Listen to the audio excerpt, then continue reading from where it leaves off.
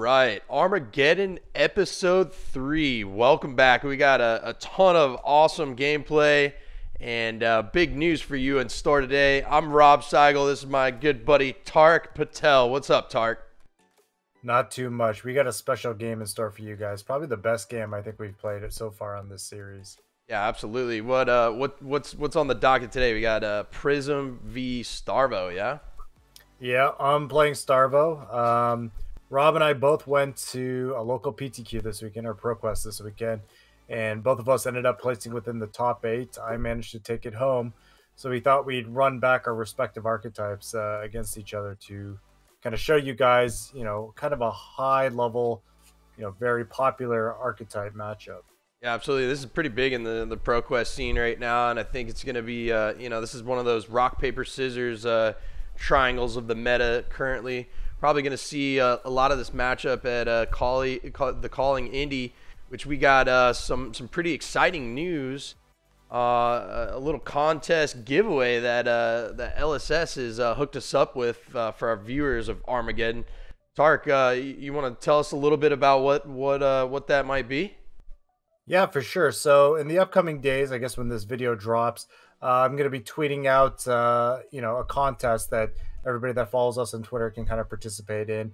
It is for a golden entry uh, ticket into the calling, and I believe it's the the package too. So I believe that comes with the three Arcanic Shockwaves and the the limited edition Tales of Aria box. So um, like and follow us there. You know, stay tuned because we'll be releasing that contest uh, as soon as the video drops. Yeah, that's awesome. Super excited for that, and uh, definitely very thankful for LSS. You know, kind of hooking us up with the giveaway for our uh, viewers of uh, Armageddon. You know, uh, everyone out there has been really supportive of uh, what this uh, new series we're trying to get going, get rolling off the ground here. So, just trying to bring really good games, competitive, high-level gameplay.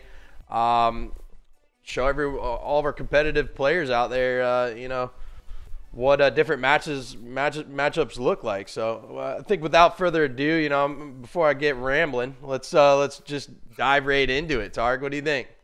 Yeah, let's go. All right. All right, let's get right into this game. Yeah, and here on Armageddon, you know, we really want to show you kind of the top decks at the time, make you the most tournament prepared you possibly can be going into your local ProQuest or calling. So, you know, my deck nothing special, just kind of the boogeyman of the format right now. Rob's deck on Prism.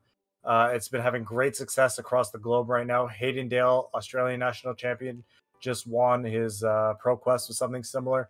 Uh, um, Matthew Folks out of uh, the UK national champion won his ProQuest with something similar. And then even North America, I know uh, Dalen Mack uh, is also champion Prism. So you if you're going to be successful at your ProQuest, you got to be able to be able to play Prisms. So, uh, great game coming at you guys. Yeah, this is one of these newer uh, newer Prism builds that are seeing a lot of a uh, lot of action in the ProQuest, right? Like a lot of blue auras, new blue auras out of Everfest. Actually, this card right here, uh, Miraging Metamorph. Uh, this card's pretty sweet. It's uh, one for seven. It's a red. It does have Phantasm, and if you break it, you can uh, create a copy of an aura that you control. So there's uh, sometimes some little tricks that we didn't, we weren't able to take advantage of there uh, because uh, it was popped uh, with Phantasm, but uh, you can like flash in a Merciful or you know one of the yellow auras at instant speed um, to basically get two copies or a copy of them. You know, get get two Mercifuls on the field or something. Pretty pretty strong card, I think. Yeah. And from the Guardian side, you know, this isn't your traditional Guardian versus Prism matchup. Uh, I tweeted out earlier this week that there's an important concept of, you know, who's the beatdown or who's the aggressive deck in Flesh and Blood.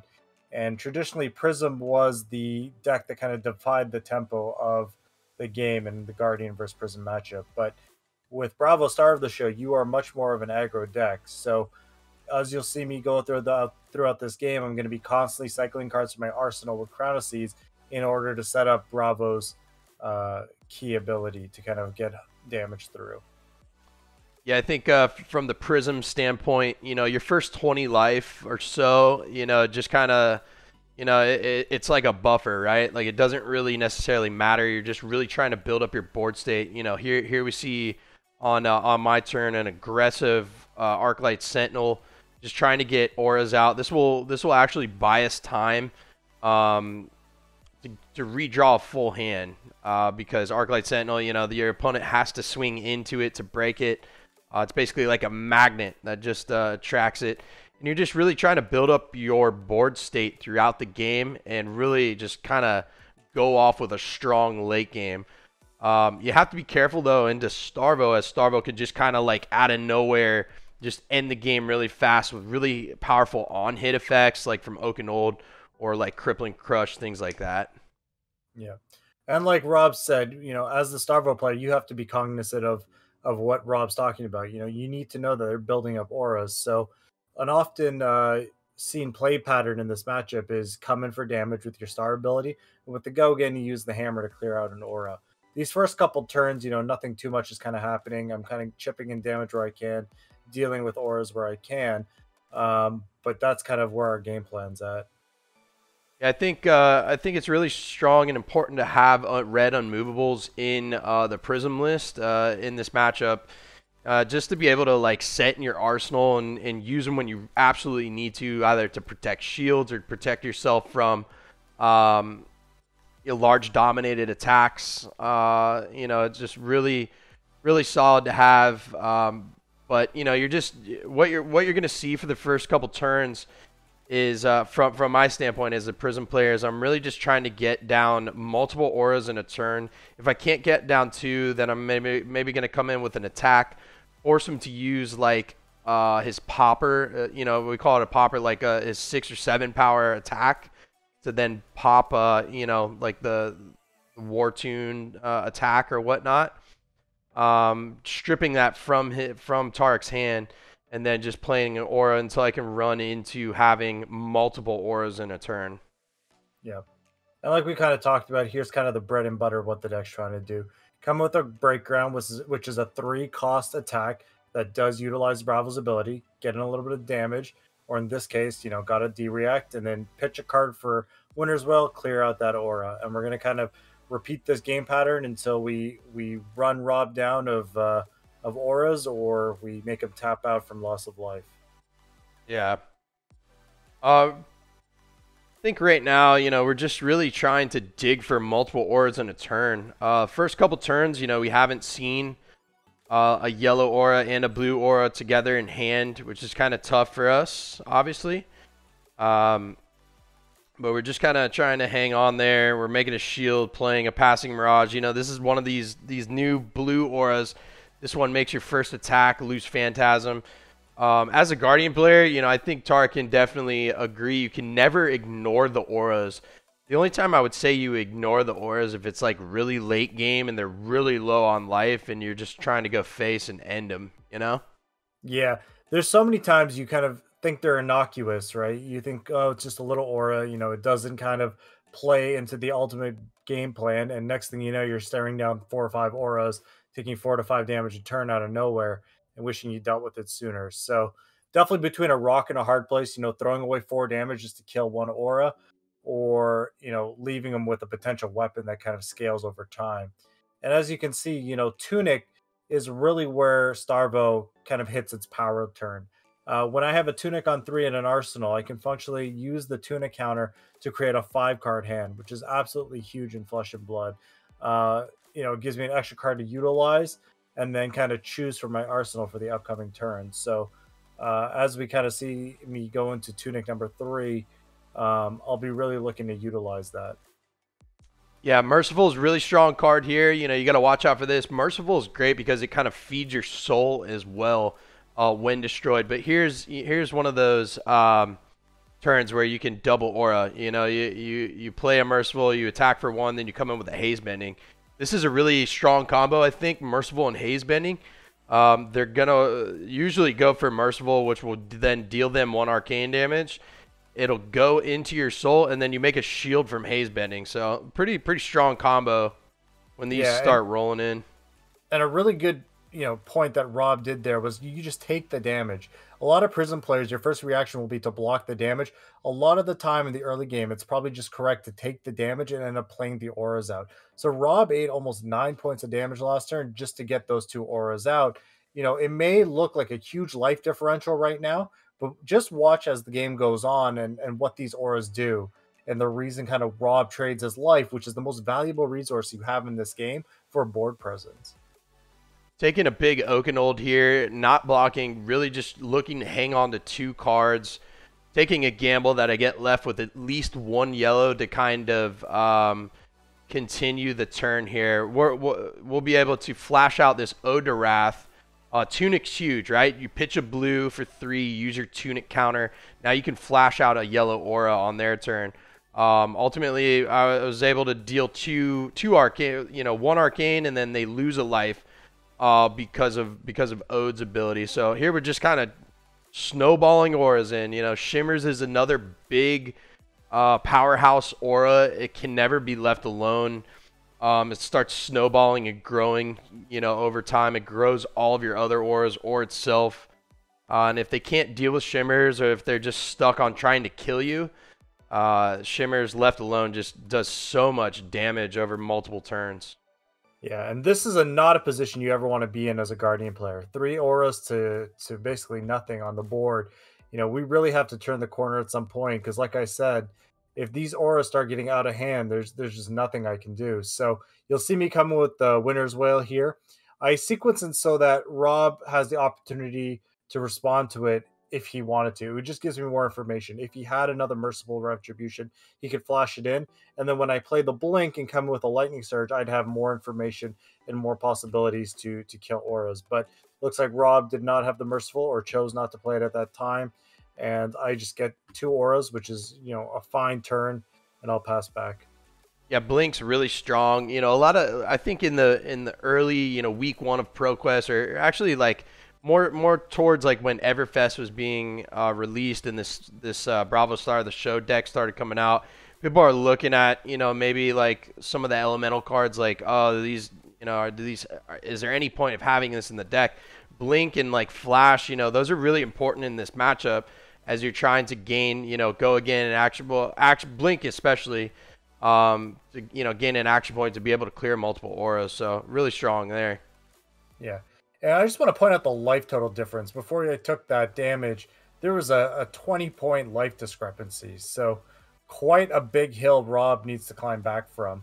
Uh, I'm going to go ahead and cycle here on the end of uh, Rob's turn, or I guess while he attacks, really trying to fuse this, not fuse, but trigger the star of the show's ability because I really want to close the game before the game starts snowballing. Yeah, and you know, if if you play this matchup a lot, you you know that you can give away, you know, that that 15, 20 life in the beginning um, to really start running in, setting in your your D-reacts at the most optimal time. You're also turning off awakening if you're staying under life of uh, of your opponent here. Awakening yeah. could be a really strong detrimental card to clearing your shields or just ending you as uh, as Prism. So uh, here we're just trying to not take damage. We got another soul shield, soul shield, soul shield defense react from Arsenal number two. Skull caps very big in this matchup.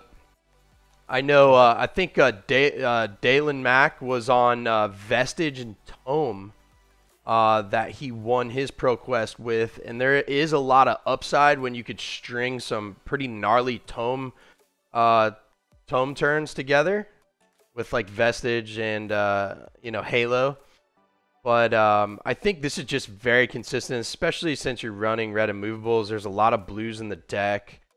Uh, being able to you know play a movable red from Arsenal, block with skull caps, pretty pretty crucial.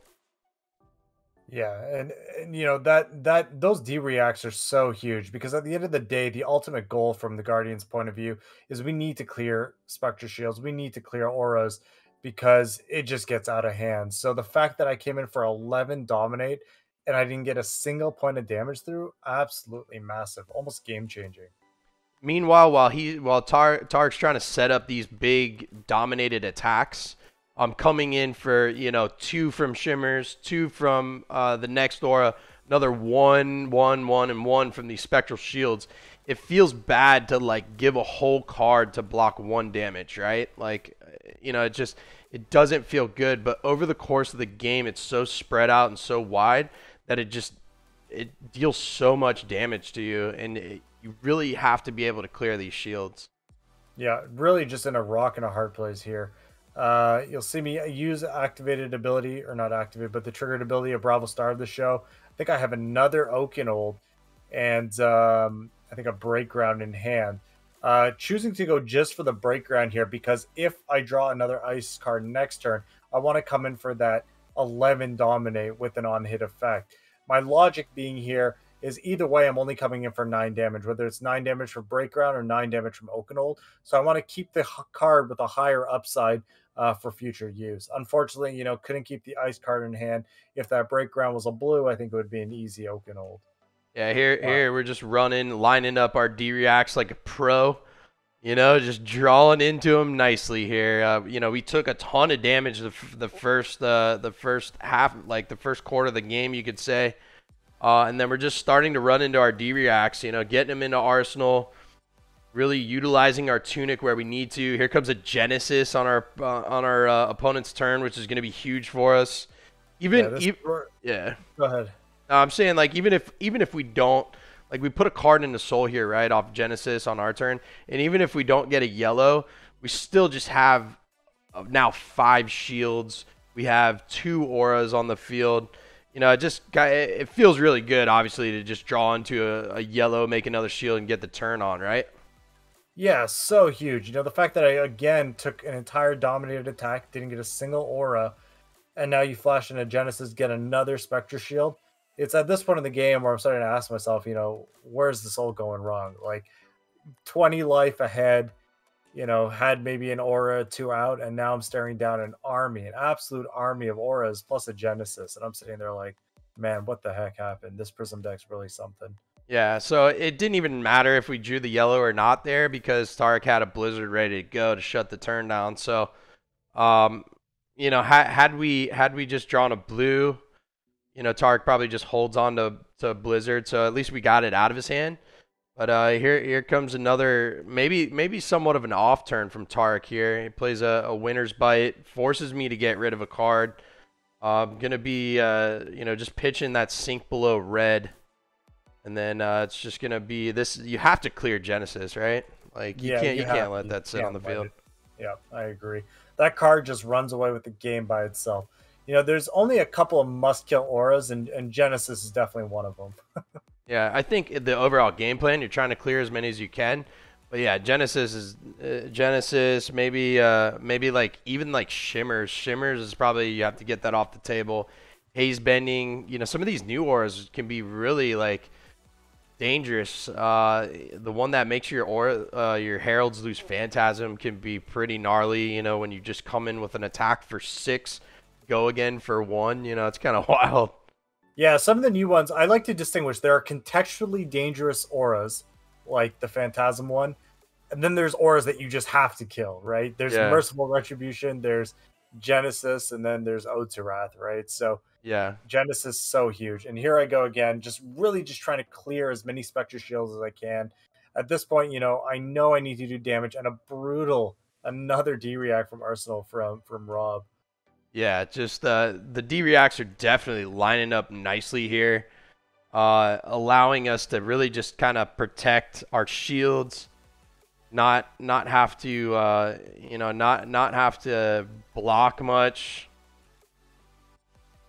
really just able to to keep you know keep our keep our stuff going. So, um, you know we're we're utilizing all of our hand as well throughout our turns, which is uh which is pretty good. You know you never want to be like stuck or left with cards in hand, can't do anything without them. Um, you know the D-Reacts are just really helping us out here. Yeah, they've been so crucial in this game because this game really starts becoming a balancing act of how long can you keep your Spectre shields alive and how much damage can you get from them over time, right? Because those Spectre shields, you know, while very valuable, they are very susceptible to dominated effects. So right now, with Rob having no arsenal, I know that you know, this is the opportunity I have. If there's any opportunity, it's now to get rid of them. Unfortunately, you know, we're cycling to try and find a, a, a Bravo star of the show, triggered ability, uh, whiff on a, I believe, an ice card. Um, but you know, that, that's the kind of game we play. You live by the tr- the activated ability, and you or the triggered ability, and you die by the triggered ability. So Wow, another three Spectre Shields coming. So many that Rob actually just ran out of tokens, which I think is quite funny. Yeah, this is kind of crazy. We, when when rewatching this uh, the gameplay, you know, Tariq and I were discussing if we thought this was a little bit greedy to uh, get rid of the Arclight Sentinel here to pitch it and use the Tunic counter to uh, play the one red Prismatic Shield in our list.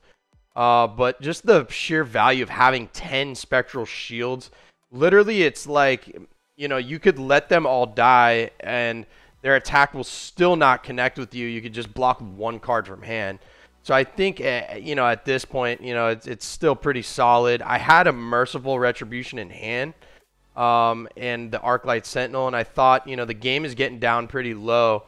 Maybe it's time that I just kind of start going in and turn the corner. I think that that turn uh, specifically, obviously, you know, having the two red immovables really helped out keep keep the shields. But this is the turn that just this is the turn that allows me to just turn the corner and now start being somewhat of the aggressor here.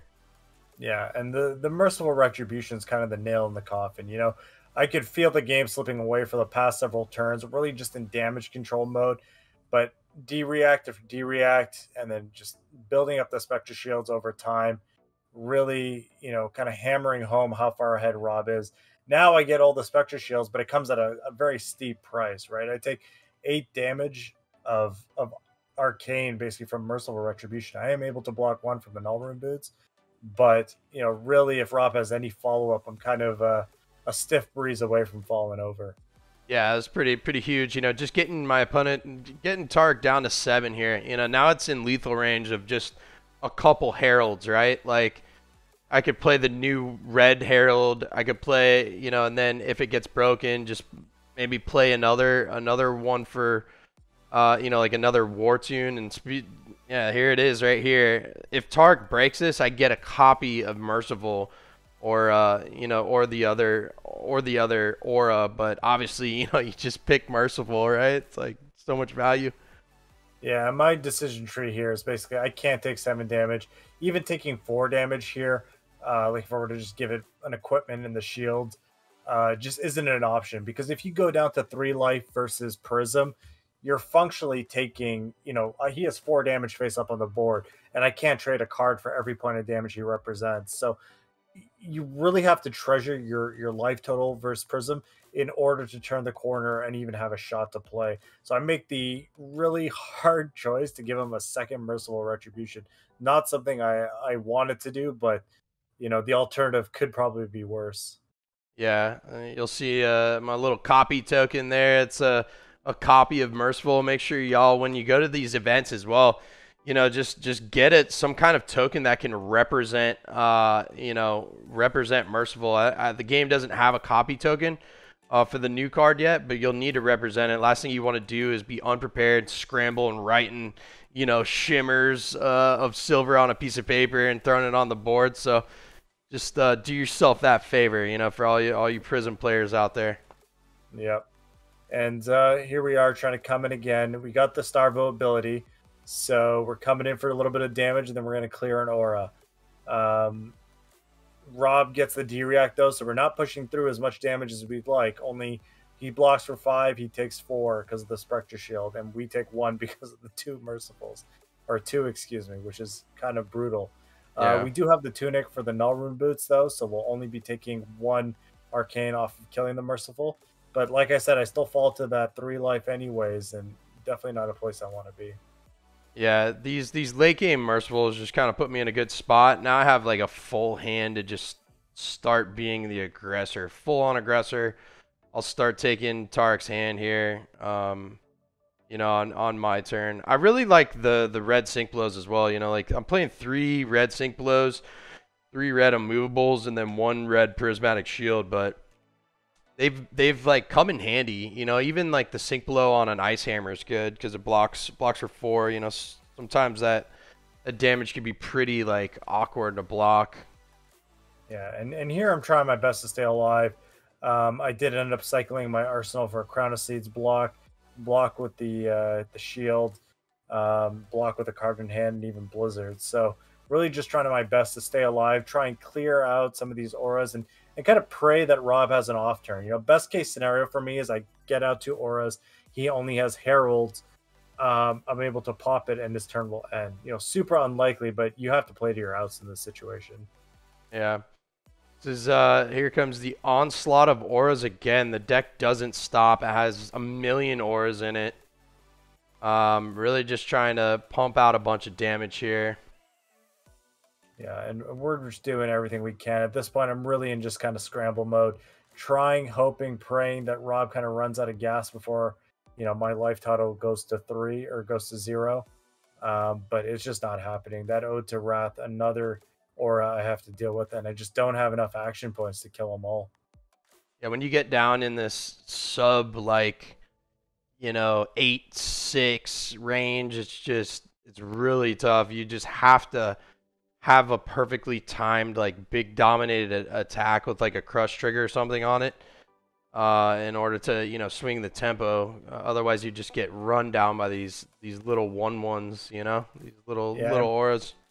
And Prism really showcasing why it's been so prevalent, why it's been coming up. You know, at the start of the ProQuest metagame, we kind of saw Prism not kind of live up to the hype that everybody thought it would be myself included. You know, I was kind of disappointed for how it was playing out in my playtesting games, how it was faring against some of the other decks. But Prism really kind of stepping up right now. You know, there's a 20 point life deficit in this game at one point, and we we see how Prism's able to kind of pull it back.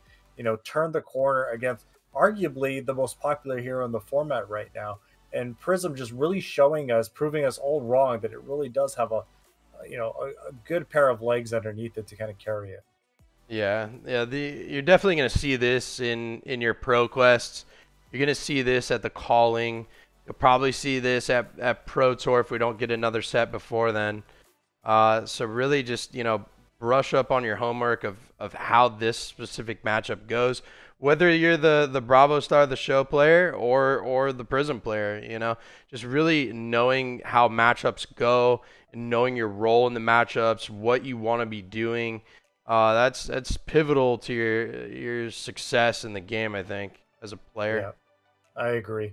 And once again, you know that last turn was was me, the Bravo player, uh, trying to clear out as many auras as I can. I do get the Ode to Wrath, not able to push in any points of damage though. Really, still hoping for that off turn from Rob, but uh, he coming in with the Herald. I need to pop it. I can't take any points of damage. He gets his action point cleanly, and you know it's not going to take much to kind of blow me over. Yeah, the tunic really showcase, really, really being, it's just strong there. Uh, being able to buy my action point back, not having to pitch a card for it, like a blue or another yellow, um, and just still keep two cards in hand for gas. You know, just more heralds, swing the auras in between. You know, just trying to strip out all the cards. Eventually you get to a point where you're just able to take all the cards from their hand and then just end on a big herald and then that's just it you know? They there's nothing they can do about it from that that point on. Yeah and i'm kind of concerned here. How do i stay alive? What can i beat? What can i not beat? I have to give him a card. Can't go to one in case there's a, a merciful in my future but coming with a dominant uh Urduishin, you know that that's just the game I, I is dominate i can't block it yeah, this, this is a pretty pretty heavy, heavy uh, you know turn ender. He actually does have an Autumn's Touch red left to be able to pop it. So. Oh, excuse me. Yeah. Yeah, but uh, yeah, yeah. Coming up next, you'll you'll see. You know, we just draw into another one here. Um, just uh, you know, or or just another herald, and just kind of, just kind of end the turn with it here. So. Yeah, and I just come back at him with the Frosty Hammer. Um, just kind of clearing out auras, like I said. So much in damage control mode at this point. You know, really just hoping Rob having an off turn. The deck does have a lot of gas in it, especially we've burned through all of our D-reacts at the optimal time, which we wanted. You know, the last thing you want to have happen, which actually I do have a red immovable in hand here, is draw that red immovable at the most inopportune time and you're you know you you can't keep pressure. So you know that there is a thing to be said for that, and that's you know while you why you see some lists uh, you know juggling between five reacts or six reacts, you know, trying to limit the reds to really just keep keep the foot on the gas. You know, if you just brick a hand with two reds, it just as prism, it will absolutely just end your end your turn. You know, and it, it swings the tempo the entire other way, which is really tough. Yeah, and Rob playing it nice and safe. You know, when you're ahead, it's better to just get further ahead. No need to take big risks and overexpose yourself. He knows he just needs to kind of keep playing auras, keep the pressure up. I do not have enough action points to deal with more than one aura a turn, and he knows that. So he's just playing out another aura. I'm kind of chipping away still, really just trying to hope and, and look for any kind of crack in Rob's armor. Really coming out strong with just these Wartune Heralds. Uh, them be, them costing one is excellent because you turn the turn on by pitching a yellow, and then you just use that one floating to buy your action point back from the Phantasmal Footsteps, um, and then you just keep swinging auras. But you know we are we are it seems running out of you know we're we're not able to close over the past two three turns, um, but just just trying to play smart. We're slowly chipping away, getting all of his big attacks getting the tunic, you know, and here's here we just end on an erudition. You know, we knew we still had him in the deck. This will hit. We'll draw two more cards. They'll play two more auras. So eventually, you know, it's uh, as Stark would say, a, a deterministic win. Uh, right, where where you just you know you kind of know what uh what you're gonna end up with, right? Yep, exactly. Let's uh, let's hop back here, kind of give our uh, closing thoughts to the game. Uh, you know, in the, in the two heroes. Maybe uh, maybe we should talk about you know where we see these heroes going forward in uh, finishing out the rest of the ProQuest season and uh, the calling. What do you what do you think? What do you think about Prism and, and Starvo here? Yeah, they're going to be two of the most represented decks going forward for sure. I wouldn't be surprised if they were the most represented decks going into Indianapolis or your local ProQuest. So definitely have to have them on your radar and know how to play against both of them. Yeah, yeah, it's uh, it seems to us right now that kind of like rock paper scissors uh, meta of like you know like Viserai, um, you know Starvo and Prism. We've also you know been seeing like a couple couple you know one-off rogue decks out of the meta. You know, uh, not like rogue you know in a bad way, but like not your typical meta decks doing very good in ProQuest. We actually had a, a, a local guy, Brian, uh, you know, uh, finish in top four uh, two weeks in a row on Axis Dory. So that was that was really cool to see. Uh, we've been seeing a lot of action from like Lexi. Uh, I know there's a Kano, there's a couple Kano day one mains out there, you know, just running, lighting people up on fire. You know, you got to watch out for them. Bring your bring your Nullrune gear. Uh, but I think I think the most you're you're probably going to see the most of uh, those three heroes, you know, and especially those two heroes in uh, in this game here. Yeah, and I hope everybody enjoyed that. You know, those were our two decks that we kind of took to uh, with us to the ProQuest the day before we shot this these games. I ended up winning it. Rob ended up top eighting, so quite a competitive local scene we have as well. So these were really kind of the best of the best of decks that we had available to us. And we're playing for PTIs, we're playing for pro uh, tour appearances, just like everybody else out there. So we're really trying to bring you, you know, good games that I think a lot of you can take home good learning points from. And my, I myself, you know, I have to go back and rewatch that game several times because I'm not sure where it quite slipped away. I felt like if you asked me in the first four, four turns, you know, where that game was going, I, I would have told you I had the game locked up. There's zero percent chance Rob would win but uh, clearly I was wrong. You know, Rob played a really well game, really well played game there, and it slipped away. So I myself am glad we ended up recording that match because it's something that I myself will be watching five, six, seven times to kind of figure out where those little micro decisions, where I misplayed, you know, what I could have done better or what to change for the future. Yeah, absolutely. Couple couple closing thoughts. You know, make sure uh, to keep an eye out on Twitter. We're gonna we're gonna throw out a tweet uh, with the uh, the calling giveaway from uh, from LSS. You know, uh, as a thank you to all of our viewers out there that are supporting us uh, and want to see Armageddon. You know, the weekly competitive series. Just keep keep trucking along. So keep an eye out for that. We're gonna pick a winner, probably announce it. Uh, maybe like Saturday. Think it maybe Saturday. Saturday? Yep, Saturday, March fifth.